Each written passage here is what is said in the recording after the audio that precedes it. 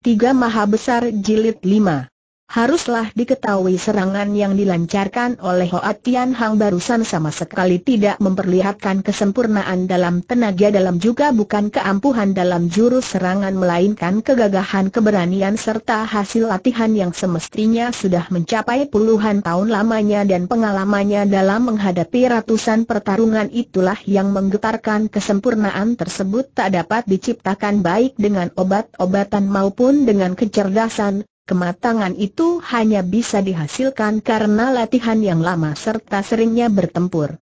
Diam-diam Pek Xiao Tian merasa amat terperanjat, dengan cepat menyingkir ke samping kiri pemuda itu kemudian melancarkan sebuah serangan lagi.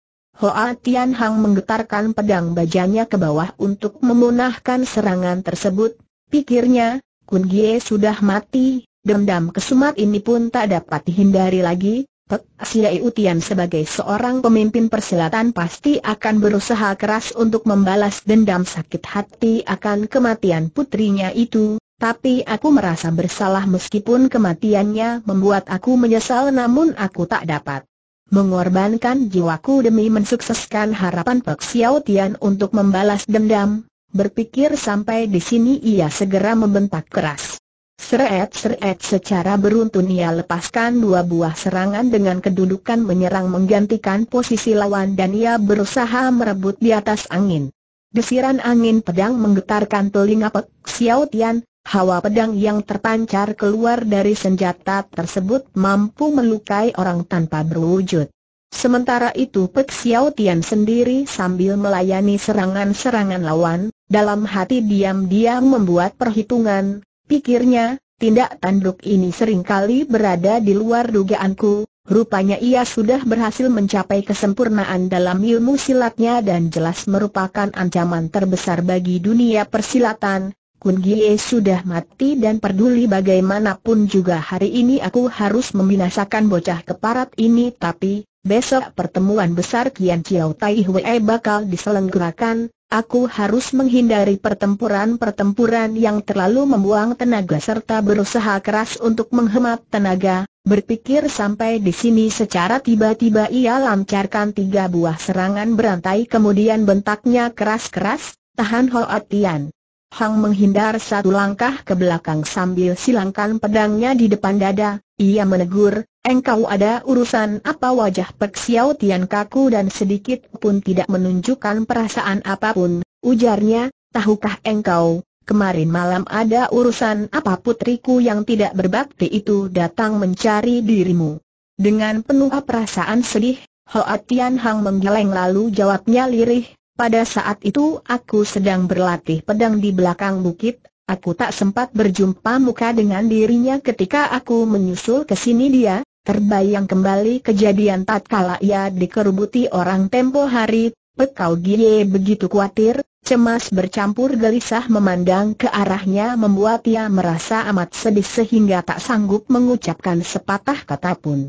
Terdengar Pek Xiao Tian tertawa dingin dan berseru, orang si Hoa, terus terangku beritahukan kepadamu, pihak perkumpulan Sin Kie Pang, Hang Im Wilye, Tong Tian Kau untuk sementara waktu telah melupakan perselisihan pribadinya dan telah membentuk persekutuan untuk bersama-sama membentuk jebakan maut di sekitar tempat terselenggaranya pertemuan besar itu. Asal kalian besok pagi berani menghadiri pertemuan besar Kian Chiao Tai Hwe maka kalian manusia-manusia yang berlagak sok mulia akan dibasmi semua dan dibunuh habis dari muka bumi walaupun kejadian ini sudah berada dalam dugaan para jago, akan tetapi setelah perkataan itu diutarakan dari mulut Pek Xiao Tian sendiri, tak urung membuat Hoa Tian Hang terkesiap juga hingga air mukanya berubah sangat hebat.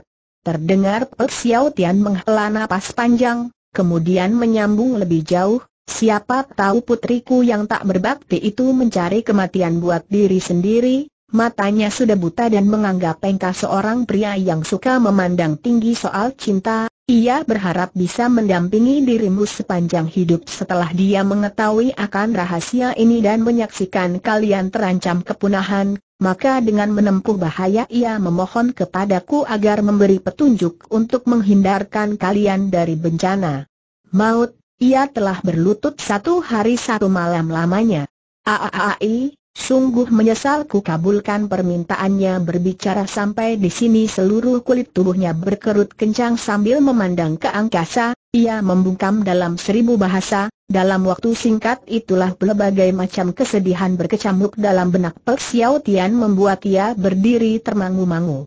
Hoa Tian Hang tak dapat menahan diri, dua titik air mata jatuh membasahi pipinya diam-diam. Miss berpikir, sungguh tak kusangka, tanpa aku sadari aku telah berhutang budi yang demikian besarnya terhadap dia. Aaai takdir telah menentukan segala-galanya apa yang dapat kulakukan lagi tiba-tiba Pek Xiao Tian berkata lagi dengan suara keras, Hoa Tian Hang tahukah engkau tiba-tiba hatiku berubah jadi lunak dan aku bersedia mengkhianati persekutuan dengan pihak lain sebaliknya malah membantu musuh dengan mengawulkan permintaan putriku itu Hoa Tian Hang tertegun kemudian jawabnya, sadar akan kesalahan yang dilakukan selama ini dan engkau bermaksud meninggalkan yang sesat kembali ke jalan yang benar kentut bentak Pek Xiao Tian dengan penuh kegusaran. Dalam hati Hoa Tian Hoa segera berpikir. Rupanya Pek Xiao Tian sudah terlanjur tersesat sehingga meskipun Seng Buddha turun ke atas bumi sendiri pun belum tentu membuat ia bertobat diri segala dosanya. Sesudah berpikir sebentar, dia pun berkata, sejak kecil Kun Gie dibesarkan di bawah perawatanmu, kalian berdua sudah Hidup berdampingan selama banyak tahun membuat cinta kasihmu terhadap dirinya dalam bagaikan samudra, makin mendengar, Pek Xiao Tian merasa semakin kesal, ia segera ulapkan tangannya memotong perkataannya yang belum selesai itu, serunya, engkau jangan menyamkan diri orang lain bagaikan dirimu, engkau adalah seorang anak yang berbakti apa yang diucapkan ibumu selalu kau turuti, engkau tak pernah membangkang perkataan ibumu, Sebaliknya putriku itu bukanlah seorang putri yang berbakti, aku melarang dia untuk mencintai dirimu sebaliknya dia malah justru tak mau dengarkan perkataanku. Mencari penyakit buat diri sendiri sehingga membuat aku pun harus menanggung rasa malu karena ditertawakan oleh setiap orang di kolong langit. Hoa Tian Hang merasa tak tega membiarkan Pekun Gie yang sudah meninggal dunia dicaci maki oleh ayahnya, tanpa terasa ia segera menimbrung dari samping, ucapanmu itu terlalu serius, andai kata keadaan tidak melarang aku untuk membatasi diri dalam pergaulan, siapa tahu kalau aku dapat berhubungan lebih mendalam lagi dengan putrimu hingga membawanya ke jenjang perkawinan siapa yang akan mentertawakan kami? Pek Xiao Tian tertawa dingin.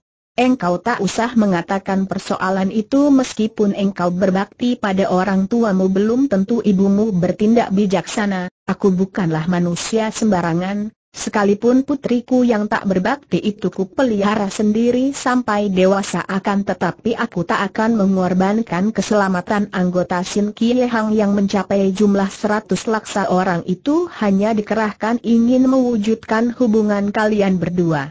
Seratus laksa orang seru Hoa Tian Hang dengan hati terperanjat, hampir saja tak percaya dengan pendengaran sendiri.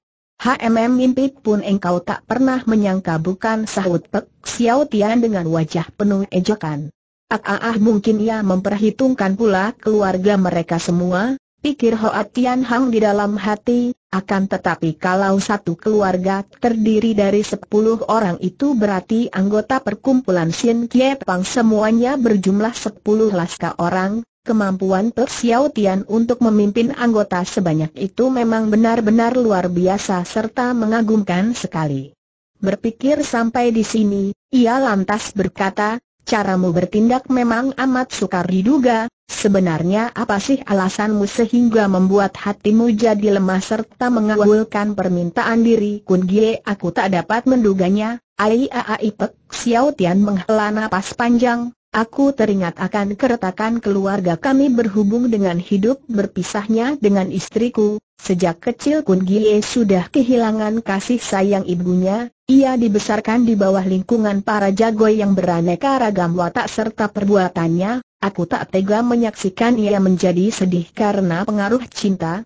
Aku pun tak ingin membiarkan dia mati karena kesedihan karena itu di tengah jalan aku telah berubah pikiran dan mengizinkan dirinya untuk pergi memberi kabar kepada kalian serta menunjukkan pula satu jalan keluar bagi kamu semua, Tapi, siapa tahu, ia berhenti sebentar, dari balik matanya tiba-tiba memancarkan cahaya berapi-api, sambungnya lebih jauh, siapa tahu kalian manusia-manusia yang mengaku sebagai kaum pendekar dari kolong langit ternyata tidak lebih hanya sekawanan manusia yang tak tahu diri manusia yang tak mengenal budi, bukannya berterima kasih atas jerih payahnya, kalian malah mencelakai jiwa putriku yang tolol itu, kau.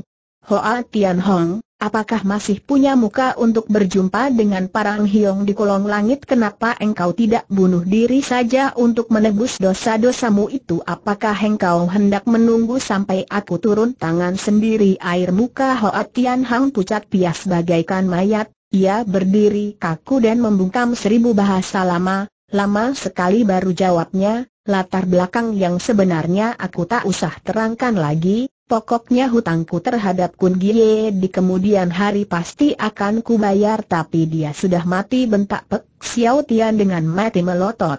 Apa aku bisa menggunakan kematianku untuk membalas budinya itu atau juga dalam penitisan yang akan datang aku toh dapat pula membalas budi kebaikannya itu perkataan tentang penitisan yang akan datang terlalu hayal dan kosong, menurut penglihatanku lebih baik engkau balas saja kebaikan budi Kun Gie dengan satu kematian Hoa Tian Hang agak tertegun, lalu jawabnya dengan sedih, Sekalipun aku tersedia namun harus menunggu sampai pekerjaanku telah selesai lebih dahulu.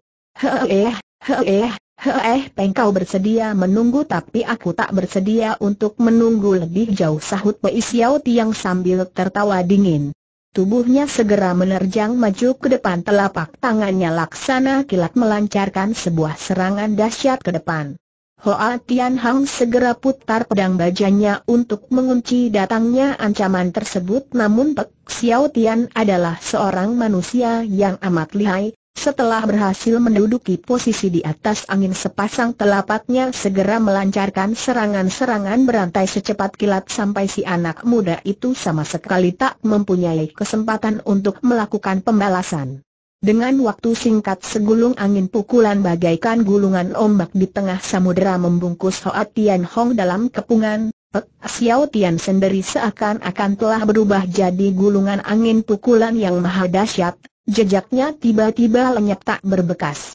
Hoa Tian Hang dengan sepenuh tenaga memutar pedang bajanya untuk menahan gempuran-gempuran dari lawannya, Cahaya hitam tampak meronta di antara angin pukulan sebentar cahaya hitam itu muncul sebentar lagi lenyap seakan-akan permainkan pedangnya sudah terbungkus di tengah gulungan pukulan angin pukulan lawan.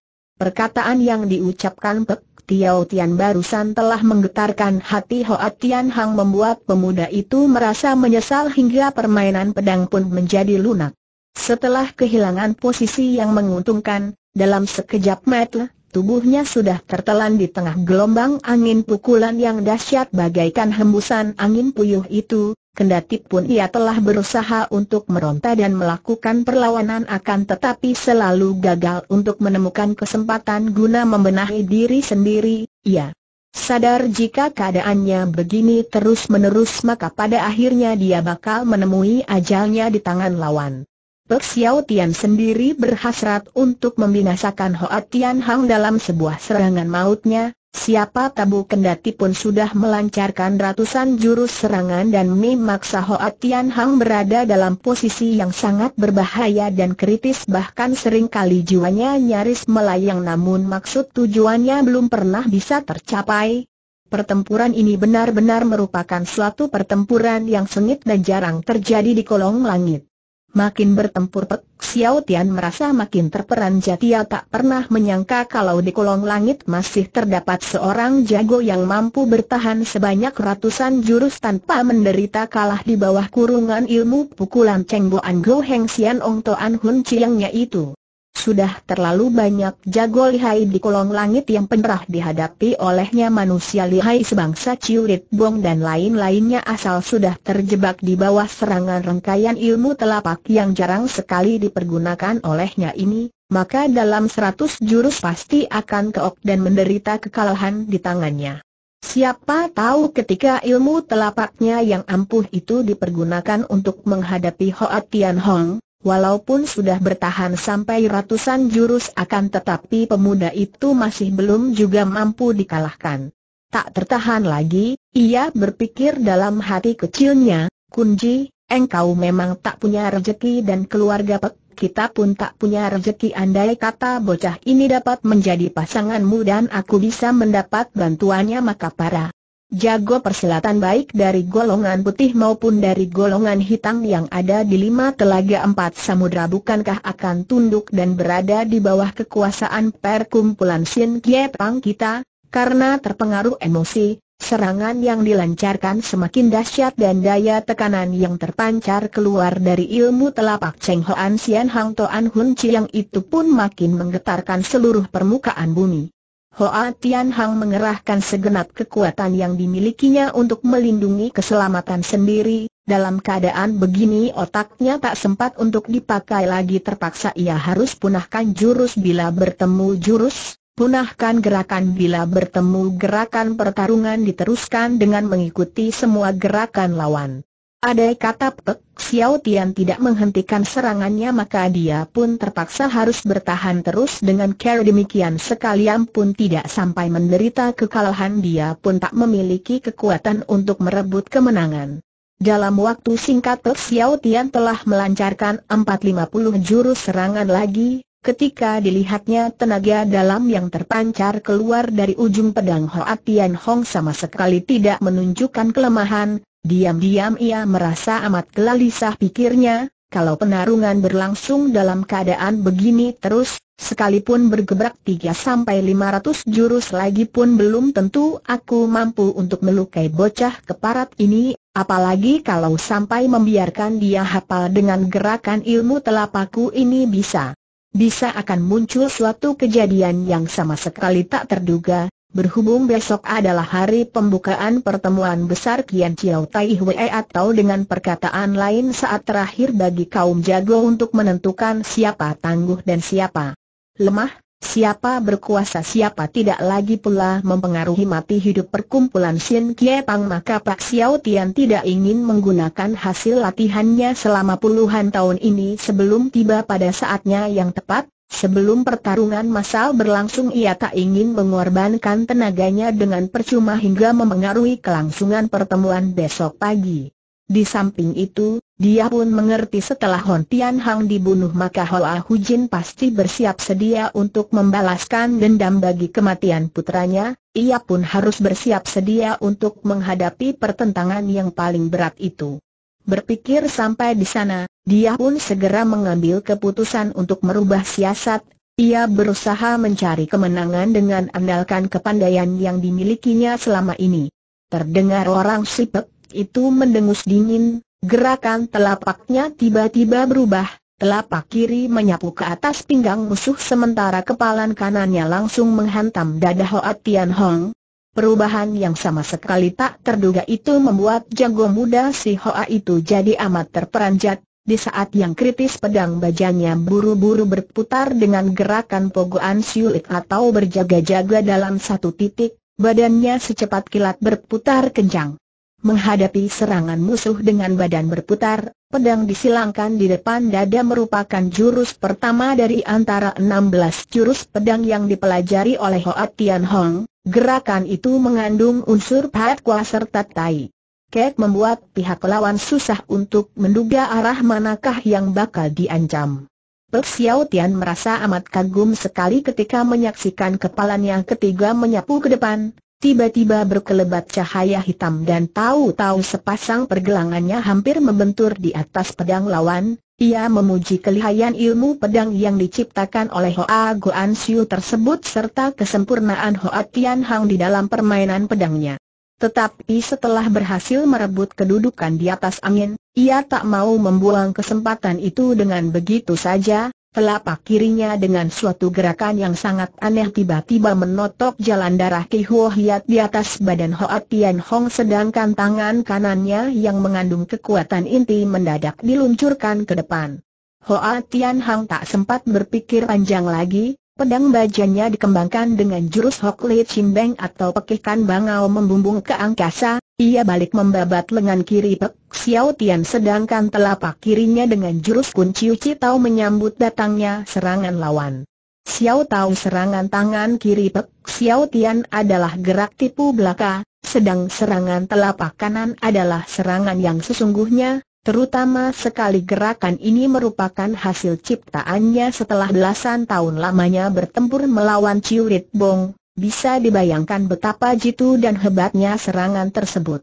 Look sepasang telapak saling membentur satu sama lainnya menimbulkan suara benturan keras, tubuh kedua orang itu sama-sama bergetar keras dan serangan pun terhenti untuk beberapa saat. Terdengar Pek Xiao Tian tertawa terbahak-bahak, lengannya berkelebat ke depan melancarkan satu pukulan. Ketika terjadi bentrokan tersebut kedua-duanya berada dalam posisi serangan yang mencapai setengah jalan, dengan begitu serangan susulan yang dilancarkan oleh Pek Xiao Tian ini boleh dibilang jauh menyimpang dari kebiasaan dunia persilatan dan siapa pun tak akan menduganya. Hoa Tian Hang merasa amat terperanjat melihat gelagat tidak menguntungkan itu, Keputusan diambil dalam benaknya dia mengepos tenaga kemudian menghimpun segenap kekuatannya di atas bahu dan tubuhnya dengan cepat miring ke samping. Semua peristiwa itu berjalan dalam sekejap mata ketika serangan dari Pek Xiao Tian meluncur datang tiba-tiba, Hoa Tian Hang miringkan badannya ke samping tak sempat untuk mengganti jurus lagi. Keraa telapak tangannya sudah mampir di atas bahu Hoa Tian Hang membuat tubuhnya terpental sejauh dua tombak lebih dari tempat semula. Pek Xiao Tian sendiri ketika telapak tangannya dengan telak bersarang di atas bahu lawannya merasakan timbulnya tenaga tolakan yang amat besar menggetarkan tangannya hal itu membuat dirinya amat terperanjat. Ia tak menyangka kalau serangannya yang dilancarkan dengan melanggar kebiasaan bulim itu ternyata sudah disambut oleh Hoa Tian Hang dengan persiapan yang penuh. Hal ini membuat luka yang diderita oleh lawan boleh dibilang enteng sekali. Jago tua Sipek itu jadi penasaran, ia segera berkelebat maju ke depan siap melancarkan serangan berikutnya yang mematikan. Terlihatlah Hoa Tian Hang berdiri angkernya di depan dengan pedang disilangkan di depan dada, sorot matanya memancarkan cahaya kilat dengan tajam. Ia awasi gerak-gerik Pek Xiao Tian dengan kesiapsiagaan penuh, dari sikapnya seakan-akan ia telah bersiap sedia untuk menghadapi serangan musuh sampai di mana pun juga. Tercekat hati Pek Xiao Tian menyaksikan hal itu, ia hentikan gerakan tubuhnya sambil berpikir.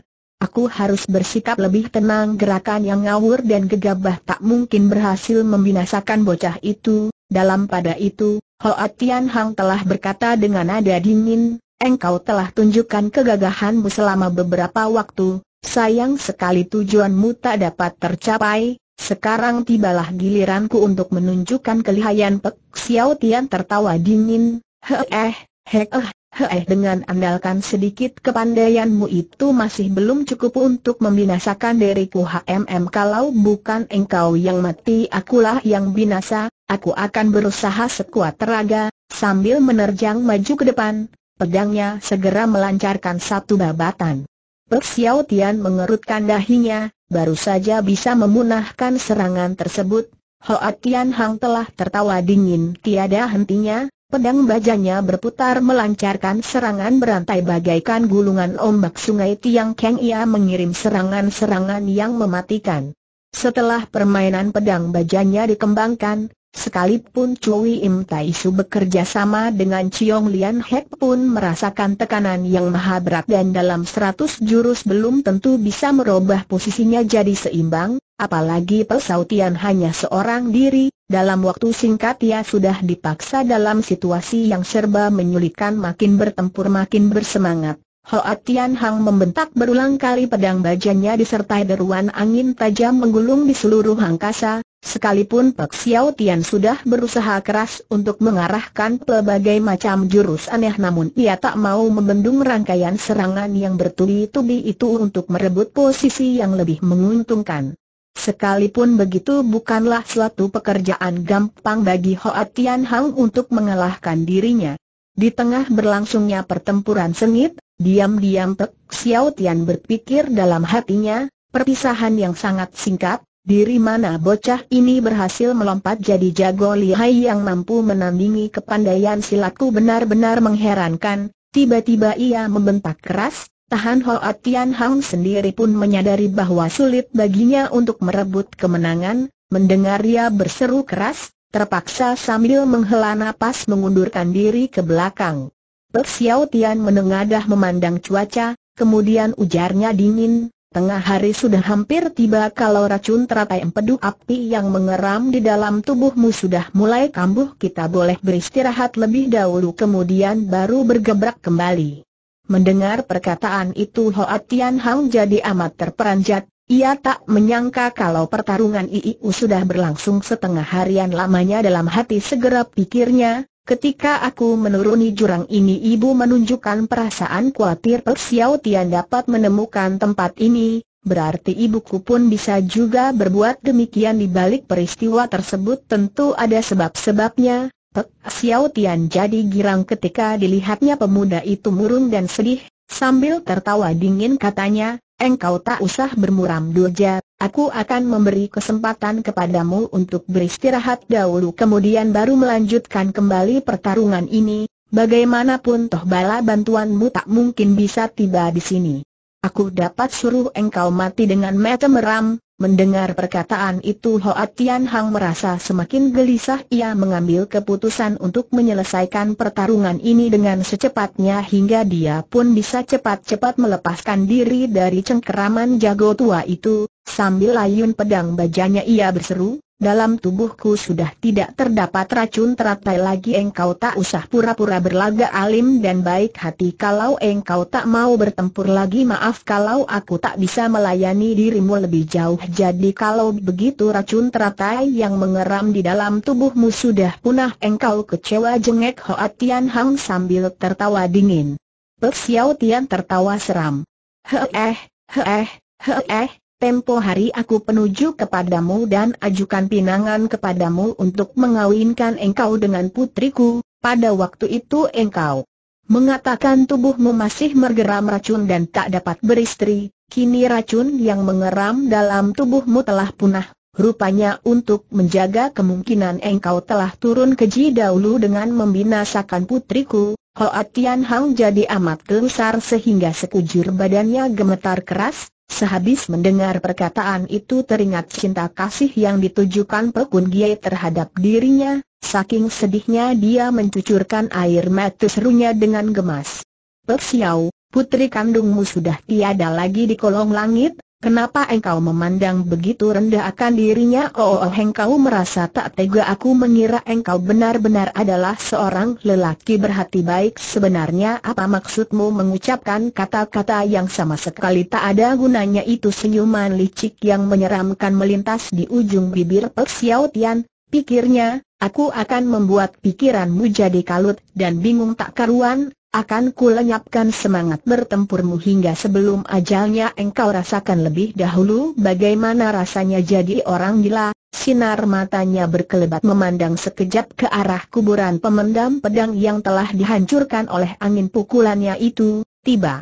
Tiba berkelebat lewat satu akal licik, sambil tertawa tergelak segera serunya, Hoa Tian Hong, Tahukah engkau dirimu adalah anak murid siapa meskipun Hoa Tian Hang cerdik namun ia masih bukan tandingan dari Pek Xiao Tian yang licik, mendengar pertanyaan tersebut segera jawabnya, siapa pun mengetahui kalau ilmu silat aku orang Sihoa adalah kepandaian keluarga buat apa engkau banyak bertanya lagi lupa pada soal perguruannya. Engkau memang seorang manusia. Lupa budi tiba-tiba Hoa Tian Hang teringat akan sesuatu tanpa sadar ia berseru, katakanlah semestinya aku orang Sihoa adalah anggota perguruan mana? Kiam Seng Malaikat Pedanggi Ko Hoa Tian Hang berpaling dan memandang sekejap ke arah kuburan pemendam pedang. Kemudian pikirnya, Tiam Poe ini selama hidupnya banyak berbuat kebaikan.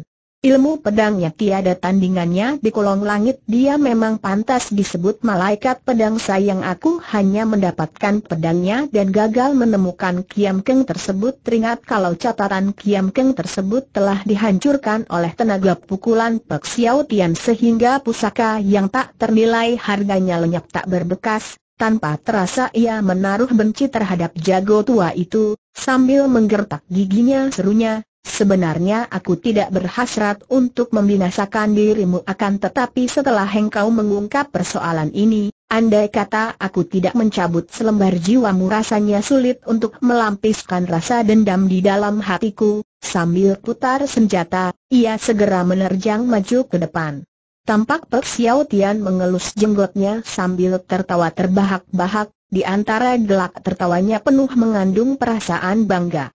Bagaimanapun juga Hoa Tian Hang adalah seorang pendekar sejati melihat pihak lawan tiada bermaksud untuk melakukan perlawanan terpaksa ia tarik kembali serangannya sambil berseru dengan nada gemas. Pek Xiao Tian tingkah lakumu yang licik serta gelak tertawamu yang seram bagaikan setan membuat aku teringat pada seseorang. Siapa? Tanya Pek Xiao Tian sambil tertawa.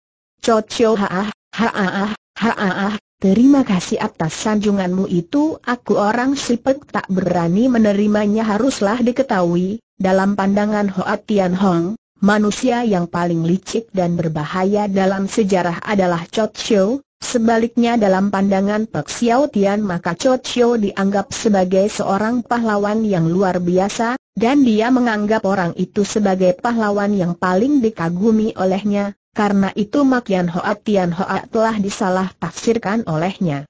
Dengan wajah serius dan penuh penghinaan, Pek Xiao Tian berseru membaca isi dari Kiam Keng yang telah dihancurkan olehnya itu, peraturan menurut langit, kerugian pasti tersisa, tenaga masih kurang, kekerasan bukanlah kekerasan, keras tapi lincah, lunak bukanlah lemah, membaca sampai di sini mendadak ia membungkam. Hoa Tian Hang mendengarkan dengan seksama, tetapi ketika ditunggunya sangat lama namun ia tidak meneruskan. Pembacaannya pemuda itu jadi mendongkol bercampur gusar tentu saja ia tak dapat mengajukan permintaan kepada lawannya untuk meneruskan pembacaan tersebut, dengan hati terbakar oleh hawa amarah ingin sekali ia bacok lawannya sampai mati.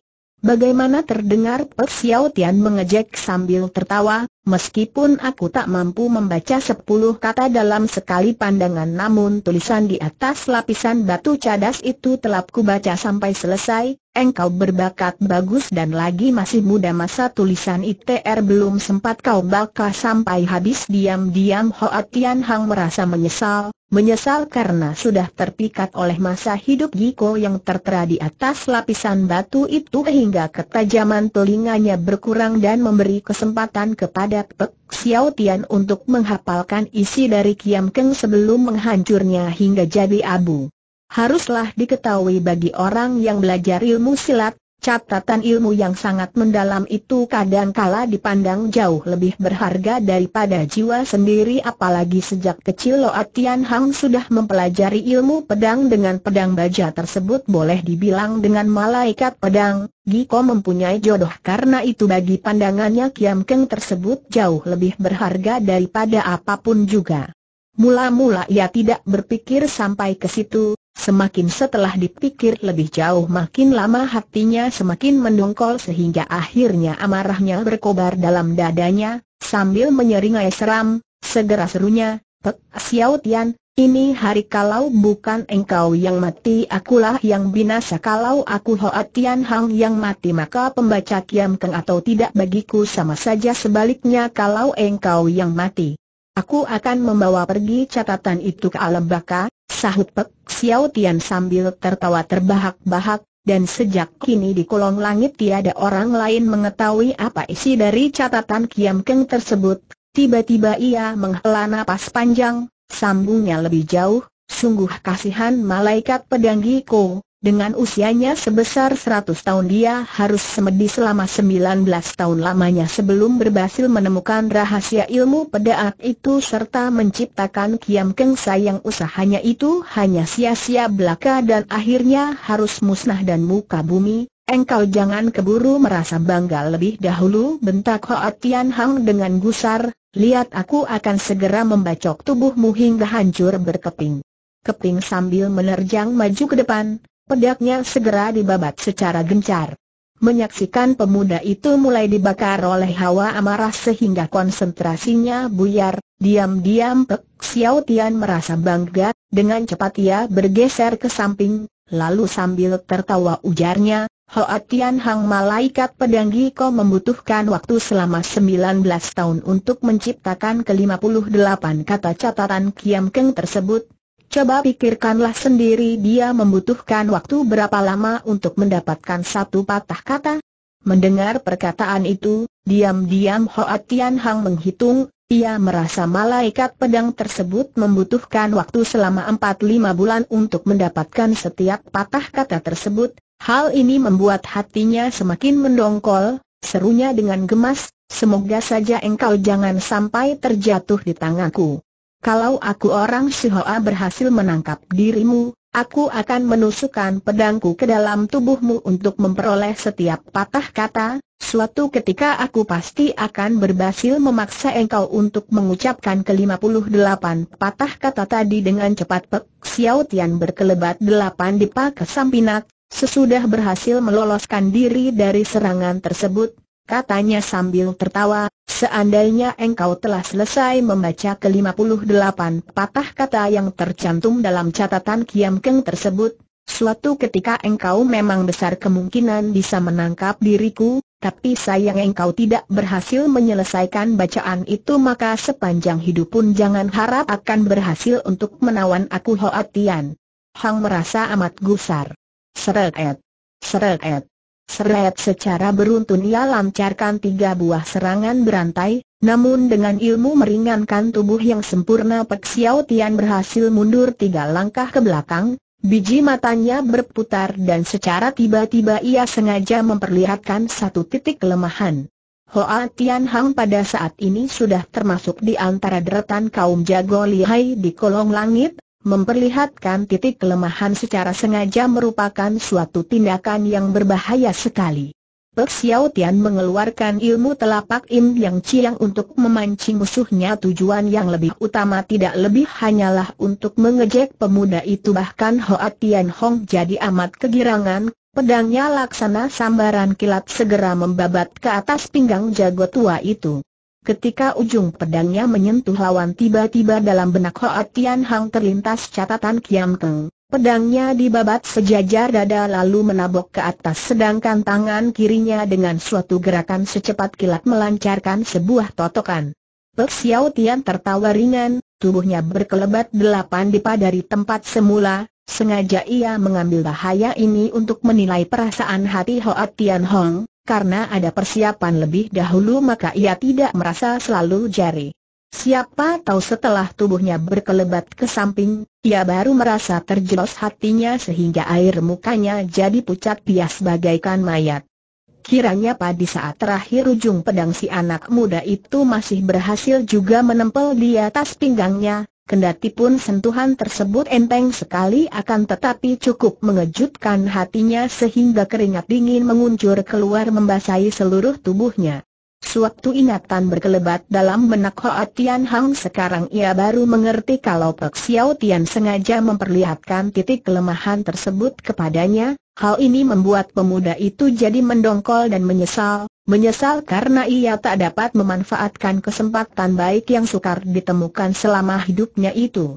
Sambil menjejakkan kakinya ke atas tanah, karena gemas teriaknya, aaai sialan sambil putar pedang ia lancarkan kembali satu serangan kilat. Kali ini Pek Xiao Tian tidak berani bertindak gegabah lagi, Sambil berkeliaran ke sana kemari menghindari ancaman musuh otaknya berputar cepat untuk menyusun siasat guna mencari kemenangan. Bila pertarungan ini sampai diketahui orang dan tersiar luas dalam dunia persilatan maka seluruh sungai telaga pasti akan jadi gempar. Kedua orang itu sama-sama saling mengadu tenaga serta kecerdikan, kedua belah pihak sama-sama lihainya, Siapa pun tidak ingin melepaskan lawannya dengan begitu saja, siapa pun tak bersedia menghentikan pertarungan sampai di situ saja. Setelah bertempur beberapa saat lagi, tiba-tiba Pek Xiao Tian berseru dengan nada dingin, Hoa Tian Hang catatan Kiam Keng semuanya terdiri dari 58 kata, Pernahkah engkau pikirkan arti dari setiap patah kata itu? Ketahuilah bahwa dalam tiap kata itu terkandung suatu arti yang sangat bermanfaat bagi ilmu silat asal engkau dapat memahaminya maka sepanjang hidup engkau akan menikmati hasilnya. Pikirkan saja di alam baka nanti tungkas Hoat Tian Hang dengan penuh kebercian. Pek Tim mengirimkan satu pukulan ke udara kosong lalu melayang mundur ke belakang, serunya, Pertarungan menurut langit kerugian pasti tersisa, pernahkah kau bayangkan apa arti yang sebenarnya satu ingatan berkelebar dalam benak Hoa Tian Hong? Segera pikirnya, peraturan menurut langit kerugian pasti tersisa. Oh, oh, oh, oh, oh, 48 dia adalah seorang jago lihai yang sudah memiliki ilmu silat yang sangat mendalam, hanya saja selama ini tak ada kesempatan untuk menyelaminya, kini setelah dipikir lebih jauh segera terasalah olehnya meskipun beberapa patah kata itu amat sederhana sekali namun arti yang sebenarnya sangat dalam sekali. Dengan cepat tubuhnya melayang beberapa tombak ke belakang, sambil menatap tajam wajah Pek Xiao Tian mulutnya membungkam dalam seribu bahasa. Pek Xiao Tian sendiri diam-diam merasa amat girang tatkala dilihatnya si anak muda itu mulai terjebak dalam siasatnya, sambil mengelus jenggot dia berkata lebih jauh. Tidak salah bukan daya tekanan yang terpancar dari pedangmu berlebihan, kesalahannya justru terletak pada kekasaran, andai kata engkau dapat menyelami kekerasan tapi lincah maka aku bukan tandinganmu lagi. Hoa Tian Hang merasa perkataan itu masuk di akal juga, Diam-diam ia lantas mengulangi kembali rahasia Kiam Keng itu di dalam hati. Peraturan menurut langit, kerugian pasti tersisa, tenaga masih kurang kekerasan bukanlah kekerasan, keras tapi lincah, lunak bukanlah lemah, sambil berpikir tanpa disadari pedang bajanya segera dibabat ke arah depan dengan hebatnya. Pek Xiao Tian tertawa sambil mengangguk, sahutnya, tepat sekali, serangan pedang bajamu ini kalau tidak disertai suara itu berani bahwa tenaga serangannya sepuluh kali lipat dari keadaan biasa dan aku pun tak mampu menandingi dirimu lagi. Hoa Tian Hang melototkan matanya bulat-bulat sambil menatap tajam wajah Pek Xiao Tian, tiba-tiba pedang bajanya melancarkan babatan demi babatan lagi. Hawa murninya diam-diam dikendalikan, Pedang bajanya berputar kencang semakin kecil bawa murninya desingan udara pun semakin kecil, tiba-tiba ia lancarkan satu babatan ke atas tanah. Teraang percikan bunga api menyebar ke empat penjuru sebuah batu cadas yang keras telah terbacok hingga muncul sebuah liang besar, setelah berhenti sebentar, tiba-tiba ia lancarkan sebuah bacokan kembali, Kali ini tenaga yang dipergunakan jauh lebih kecil hingga tak dapat kecil lagi ketika pedang baja itu menusuk di atas batu. Segera muncullah sebuah celah di atas batu gunung itu hingga mencapai dua depa dalamnya. Sambil tersenyum Xiao Tian menyaksikan kesemuanya itu dengan penuh kegembiraan. Tiba-tiba ia temukan dari balik mata Hoa Tian Hang memancarkan cahaya aneh, Sepasang pipinya berubah jadi merah dan rupanya ia terpengaruh oleh emosi, hal ini membuat hatinya jadi terperanjat hingga tanpa terasa pikirnya, aku tak boleh berbuat bodoh sehingga menggali liang kubur untuk mengubur tubuhku sendiri berpikir sampai di sini ia segera membentak keras, lunak bukanlah lemah, rendah diri harus mundur, mundur karena rendah diri, diri untuk diri sendiri. Hoa Tian Hang merasakan hatinya bergetar keras. Seret ia putar pedang melancarkan satu babatan kembali. Seranganmu itu menggunakan tenaga terlalu besar bentak Pek Xiao Tian, sembari berkata sepasang tangannya laksana sambaran petir melancarkan tiga buah serangan gencar.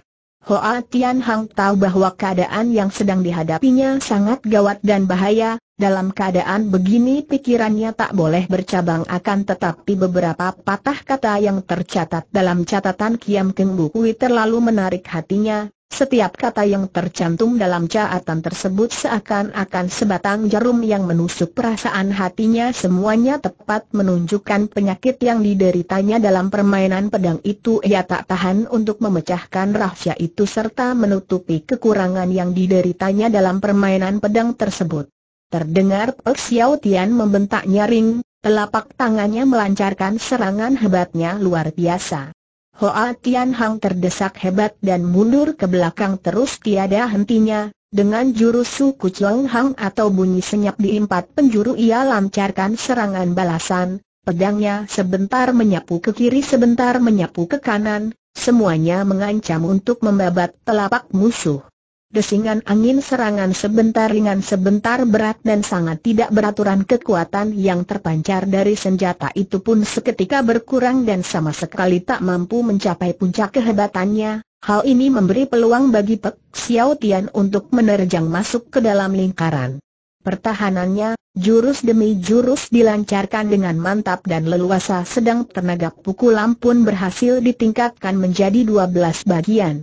Kendati pun begitu, diam-diam Pek Xiao Tian merasa terperanjat juga sebab di dalam pertarungan singkat yang sedang berlangsung kelika itu, rupanya Hoa Tian Hang lelah berhasil mendapatkan sedikit pemecahan rahasia ilmu pedangnya, walaupun jurus permainan pedangnya sudah berubah menjadi tak karuan, tetapi terpancar pula sejenis kekuatan yang luar biasa.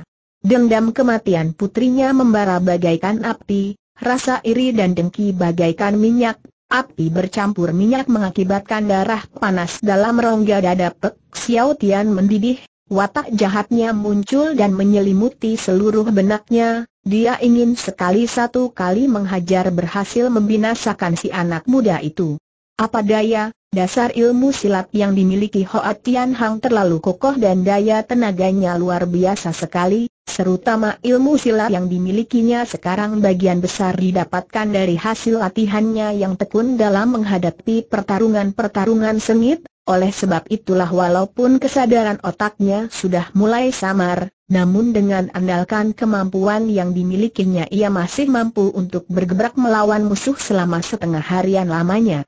Pertempuran ini benar-benar merupakan suatu pertarungan yang sengit dan mendebarkan hati, tanpa terasa Seng Surya sudah condong ke arah barat dan senja pun menjelang tiba, dari arah sebelah timur muncullah rembulan dengan cahayanya yang samar menyinari kabur yang menyelimuti puncak bukit yang berjejer, suatu pemandangan yang indah sekali. Pada saat itu yang terdengar hanyalah suara tertawa menyeringai dari Pak Xiao Tian serta raungan gusar dari Hoa Tian Hong, pukulan demi pukulan dilancarkan tiada hentinya, Sementara cahaya hitam menggulung kian kemari melakukan terjangan-terjangan maut. Tiba-tiba, Pek Xiao Tian membentak keras, Hoa Tian Hong, tempat ini adalah puncak Chiat I Hong, besok adalah hari Tionggoan, ingat baik-baik, aku bersumpah akan membinasakan dirimu teriak Hoa Tian Hong setengah mendesis. Pek Xiao Tian tertawa keras, di tengah gelak tertawanya sepasang tangan secara beruntun melancarkan serangan mematikan, Sebentar menghantam sebentar menyodok, jurus-jurus serangan berantai yang dilepaskan memaksa Hoa Tian Hong harus memutar senjatanya sambil mundur terus 7-18 langkah ke belakang. Keras tapi lincah tiba-tiba Hoa Tian Hong membentak keras. Tanpa memperdulikan serangan musuh yang sedang meluncur datang, tiba-tiba ia lancarkan sebuah babatan. Serangan pedang itu dilancarkan tanpa mengeluarkan sedikit suara pun ketika mencapai di tengah jalan, tiba-tiba dari balik tubuh pedang itu memperdengarkan suara desingan yang amat tajam, gerakannya miring ke samping dan langsung membabat sisi tubuh lawan, Pek Xiao Tian yang menyaksikan kejadian itu jadi sangat kegirangan sambil putar telapak bentaknya, Kunji sedang menantikan kedatanganmu, pergilah. Bersamaan dengan selesainya perkataan itu, Blaam sebuah pukulan dengan telapak bersarang di atas punggung Hoa Tian Hong. Terdengar pemuda itu melengking panjang, darah segar munkrat keluar dari mulutnya, tubuhnya terjungkal ke bawah puncak dan dalam waktu singkat bersama dengan pedang bajanya lenyap di balik awan tebal yang menyelimuti punggung bukit. Suasana di atas bukit pulih kembali dalam kesunyian, Sinar mata Persiau Tian liar dan kacau, Mukanya pucat pias sementara tubuhnya yang tinggi kekar berdiri di tepi tebing dan sempoyongan tiada hentinya, seakan-akan sebatang pohon yang kosong dimakan ulat. Sebentar kemudian kegelapan telah menyelimuti jagat, udara bersih tak berawan seng rembulan bersinar dengan terangnya membuat suasana jadi terang benderang. Angin malam menghembus lewat membuat Pek Xiao Tian bersin tiada hentinya, Sekujur badan bergentar keras dengan ujung bajunya ia menyeka keringat yang membasahi pipinya. Tiba-tiba bergumam seorang diri, kalau rejeki bukan bencana, kalau bencana tak akan bisa dihindari, keadaan sudah berlangsung demikian, apa yang mesti kutakuti lagi ia putar badan dan berjalan menuruni bukit tersebut. Dalam pada itu, Hoa Hujan masih tetap duduk di atas bukit tersebut, Sepanjang hari ia tak pernah bergeser barang setengah langkah pun dari tempat semula. Chu Im Tai Su, Chiong Lian Hek, Shen Pek Acuan, Biao Nia Sam Sian serta jago-jago lainnya hampir semua duduk di sekitar sana, cuma saja air muka Hoa Hujin serius dan keren sedikit pun tidak menunjukkan wajah murung. Sebaliknya mereka yang lain gelisah dan merasa tidak tenang. Di pihak lain pada Seberang jembatan batu berdiri lautan manusia yang bersenjata lengkap, sekilas memandang cahaya tajam memenuhi seluruh angkasa suasana sunyi sepi menegangkan kecuali ringkikan kuda tiada suara lain yang kedengaran. Rupanya seluruh pasukan dari perkumpulan Sin Kiepang telah membuat barisan di tepi seberang jembatan batu walaupun saling berhadapan dengan golongan Hoa Hujin akan tetapi kedua belah pihak belum sampai melakukan bentrokan langsung.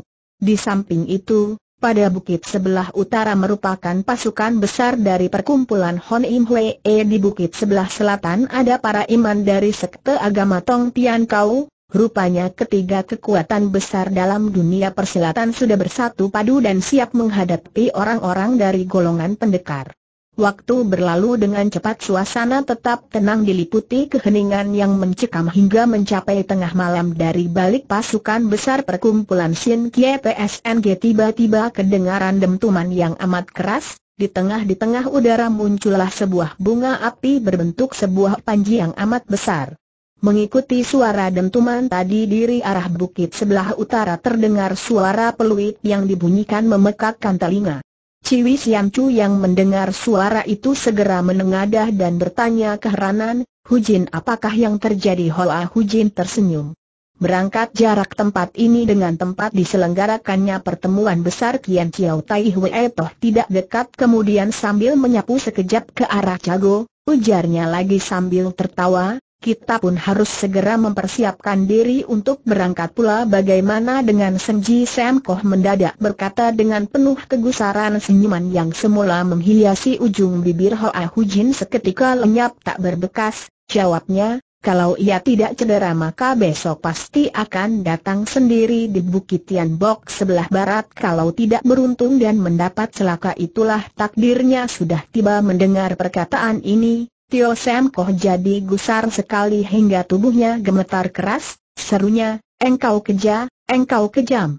Akan kulihat engkau bakal mampus di tangan siapa akan kulihat bagaimana tenangnya engkau menerima kematianmu itu. Cu Im Tai Su menghela napas panjang, hiburnya, Tio Lo Tai, urusan toh sudah jadi begini, mengapa engkau harus mengumbar hawa amarah? Tiba-tiba terdengar suara derap kaki kuda berkumandang dari tepi seberang, Rupanya orang-orang dari perkumpulan Sin Kie Pang sudah mulai berangkat tinggalkan tempat itu.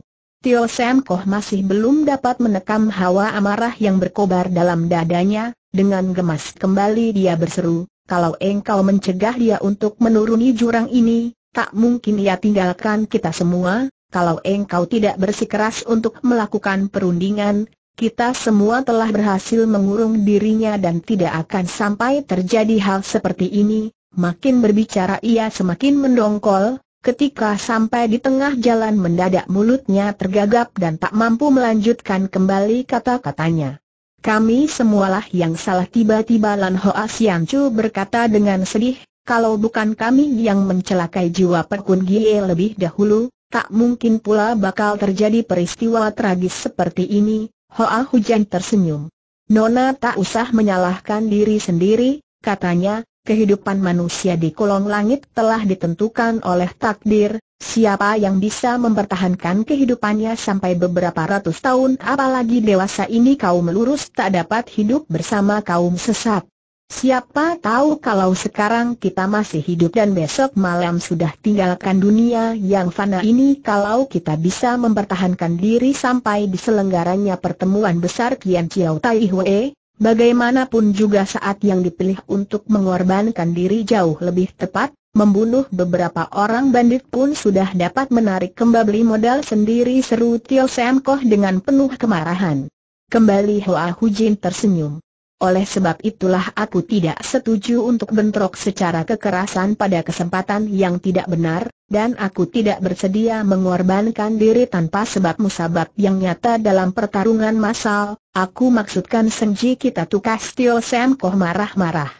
Dari mana engkau tahu kalau Senji pasti mati dan dari mana engkau bisa tahu kalau dia mati secara konyol? Bicara sampai di situ perempuan Sihoa itu bangkit berdiri dan melanjutkan sambil tertawa, mari kita pun berangkat, bagaimanapun juga pertarungan bakal kita temui, lebih cepat tiba di tempat tujuan rasanya jauh lebih baik, semua orang memang sudah merasa tak sabar, mendengar perkataan itu para jago pun segera bangkit berdiri dan melakukan perjalanan.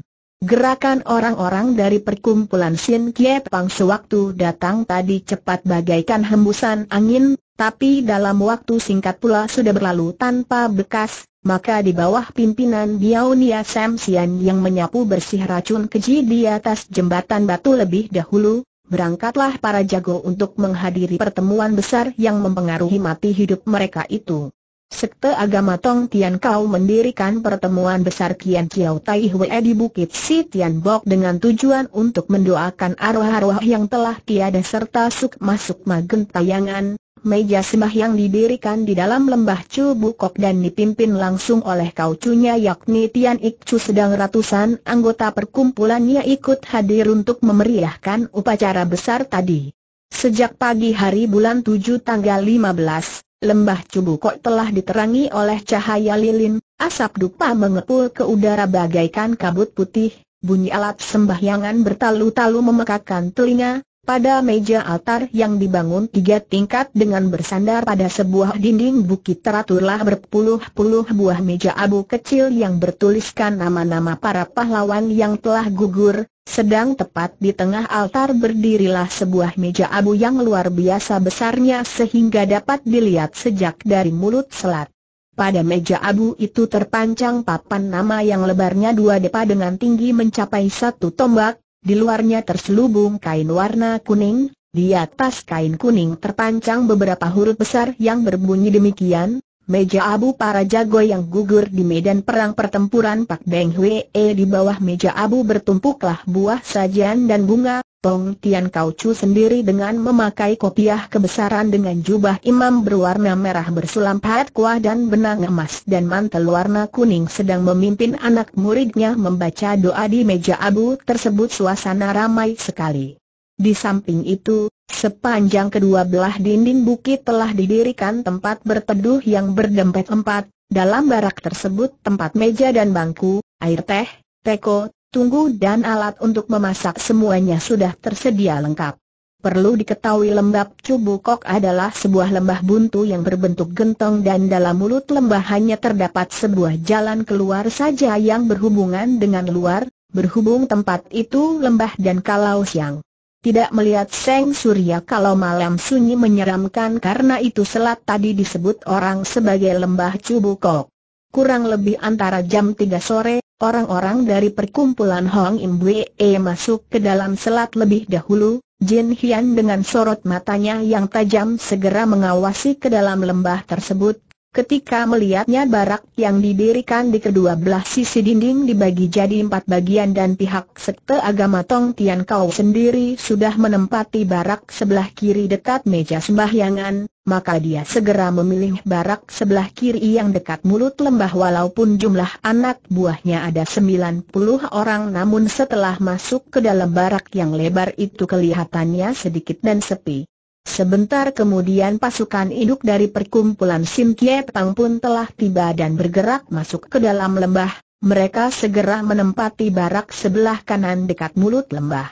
Pek Xiao Tian benar-benar seorang ahli strategi perang, ia tidak memimpin seluruh pasukannya masuk ke dalam lembah, melainkan hanya kurang lebih 500 orang jago saja yang dipimpin masuk ke dalam barak tempat beristirahat, sedangkan sebagian besar lainnya tetap tinggal di luar lembah tersebut, ada yang berjaga-jaga di mulut lembah dan ada pula yang meronda di sekitar bukit, tidak selang beberapa saat kemudian di atas puncak bukit yang mengitari selat Cubukok telah muncul para peronda dari perkumpulan Sin Keipang. Kurang lebih pukul 5 sore, rombongan yang dipimpin Hoa Hujin muncul di mulut lembah, tetapi sebelum mereka memasuki selat tersebut tiba-tiba dari balik tikungan bukit muncul 12 orang, orang pertama bukan lain adalah Xiao Yea Usian Dewa yang suka pelancongan cutong, sambil menggoyangkan kipasnya dan tertawa terbahak-bahak, ia maju menghampiri rombongan yang dipimpin Hoa Hujin kemudian memberi hormat. Buru-buru Hoa Hujin menyongsong ke depan, Sekilas memandang terlihat olehnya bahwa hampir semuanya adalah sahabat-sahabat lama, dengan cepat ia menyapa dan melepaskan rindu di antara mereka, suasana diliputi keharuan dan kegembiraan dengan air mata meleleh keluar karena terharu, dewa yang suka pelancongan cutong berkata, mungkin semua orang yang masih hidup di kolong langit ini hari telah berdatangan, semua di sini banyak perkataan yang hendak kita bicarakan. Bagaimana kalau kita masuk dulu ke dalam lembah kemudian baru dibicarakan secara perlahan-lahan? Cuto Ako, dandanan maupun potongan wajahmu sama sekali telah berubah, kata Hoa Hujin sambil tertawa paksa. Andai kata aku tidak mendengar penuturan orang lebih dahulu mungkin aku tak dapat mengenali dirimu kembali, sedang dua orang lainnya aku tak bisa ingat kembali siapakah mereka gerangan dewa yang suka melancong cutong segera menuding ke arah manusia jelek bertubuh seperti beruk itu, ia memperkenalkan, dia adalah Ciu Tai Hiap dari Gunung Huangsan berhubung hatinya selalu gelisah ketika berlatih ilmu, mengakibatkan dia mengalami jalan api menuju neraka dan berubah potongan tubuhnya jadi begini rupa Cui Heng? Seru Hoa Hujin dengan terperanjat aku masih amat jelas ketika itu engkau, Ciu Tian Hao dari Gunung Wangsan segera tertawa. Ketika itu tubuhku memang sudah termakan oleh enam buah tusukan pedang dan satu buah pukulan berat yang bersarang di dadaku membuat aku roboh terkapar di atas genangan darah dan kemudian tertindih pula oleh dua sosok mayat sampai aku sendiri pun telah mengira bahwa diriku telah mati, siapa tahu nyawaku ternyata belum putus, Lewat dua hari kemudian aku telah hidup kembali di kolong langit mendengar ucapan tersebut Hoa Hujin segera menghela napas panjang. Aaai Cui Heng tidak mati itu berarti bahwa beberapa orang gembong iblis tersebut sudah tiba pada waktunya untuk mampus sorot matanya segera dialihkan ke atas wajah seorang padri berusia 40 tahunan.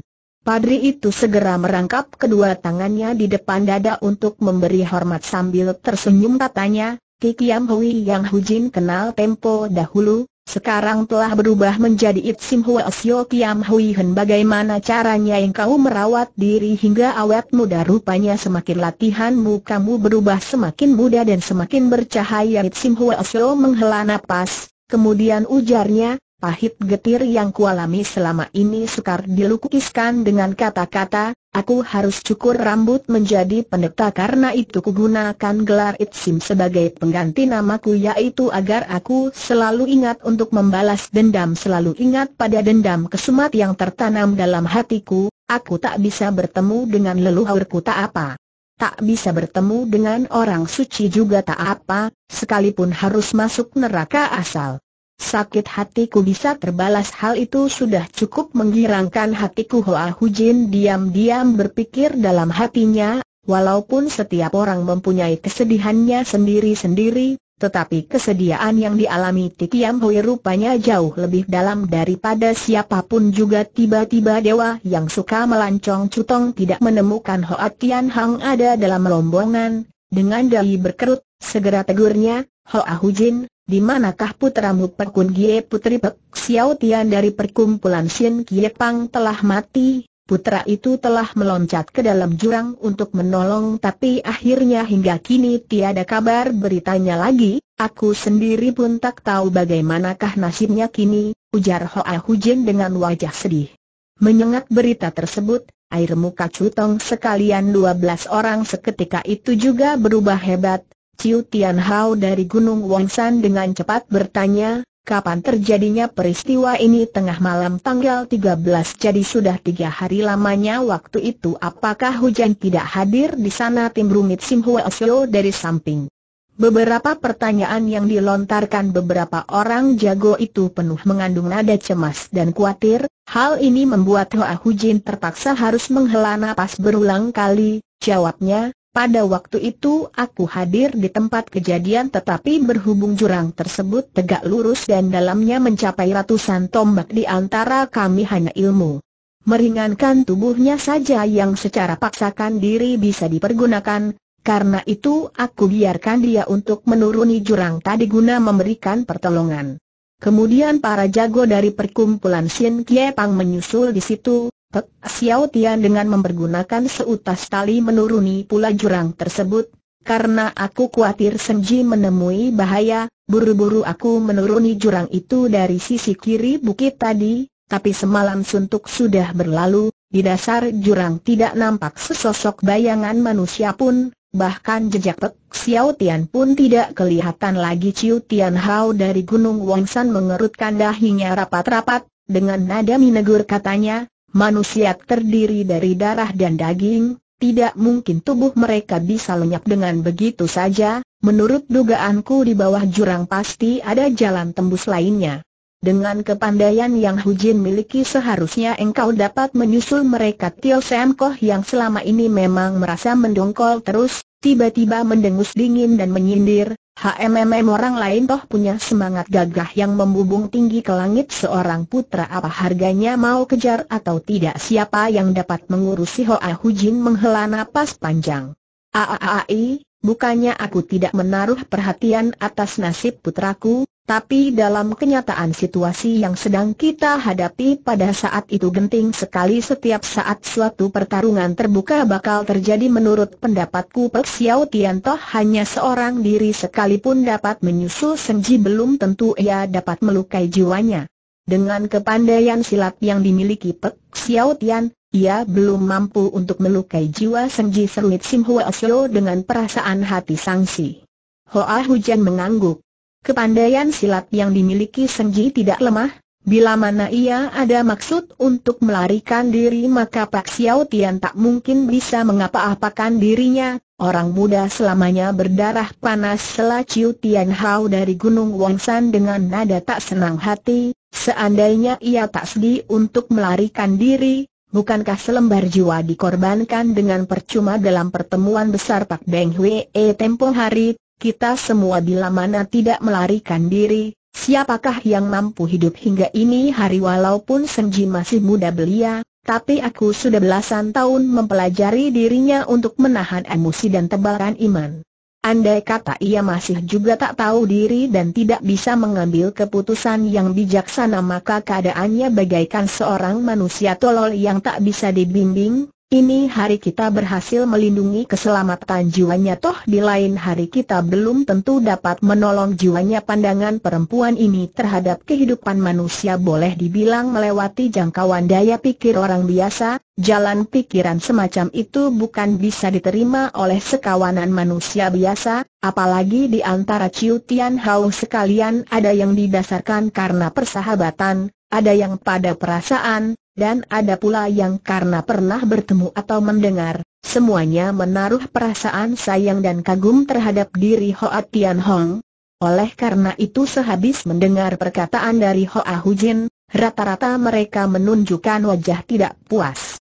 Kawanan jagot tersebut adalah para pendekar yang berjiwa lurus serta terus terang, dalam hati merasa tak senang perasaan tersebut segera terpancar di atas wajahnya, kalau dilihat gelagatnya nampak jelas bahwa semua orang akan menunjukkan protesnya. Chu Im Tai Su segera memuji keagungan Seng Buddha dan berkata setelah menghela napas panjang, Aai sesungguhnya persoalan ini amat sulit untuk diatasi, hati siapa tidak lara melihat darah daging sendiri terancam bahaya perasaan hati. Hujin sudah cukup tersiksa, aku harap saudara sekalian dapatlah bersabar sedikit Hoa Hujin tertawa paksa, sambil membeli hormat dia berkata, kejadian telah berlangsung jadi begini, merasa murung juga tak ada gunanya, lebih baik kita segera masuk ke lembah Cubukok untuk menyelesaikan masalah besar yang menyangkut kepentingan dunia persilatan saja semua orang membungkam dalam seribu bahasa, setelah hening beberapa waktu lamanya. Berangkatlah mereka mengikuti Hoa Hujin masuk ke dalam lembah tersebut. Seorang pemuda baju hijau yang menyoren pedang di pinggangnya tiba-tiba munculkan diri dari rombongan para jago, tegurnya dengan suara dingin, Enso, Kejadian itu berlangsung di mana Xiao Te bermaksud melakukan pemeriksaan di sana Hoa Hujin berpaling ketika diketahui bahwa orang itu bukan lain adalah adik angkat mendiang suaminya yang bernama Sumati Yang Ching, ia segera termenung sebentar lalu menjawab. Pulang pergi ada 400 li jauhnya, daripada buang waktu dalam perjalanan, lebih baik himpun saja tenagamu untuk membunuh musuh.